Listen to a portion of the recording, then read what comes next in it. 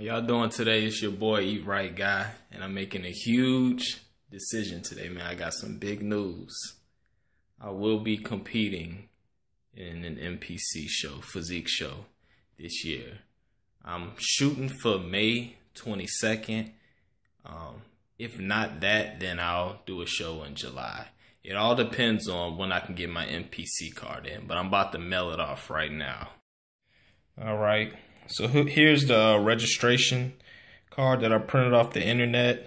I got my envelope, got my checkbook. It's $120 um, to sign up. I'm not 100% sure when, how long it takes for me to get my NPC card in because in order for me to per, the um, to compete uh, next month, I'm gonna have to have the NPC card. So if it takes them like a month for me to get it in, then I'm probably gonna have to wait till July to compete in that show. So I'm I'm shooting for May 22nd, man.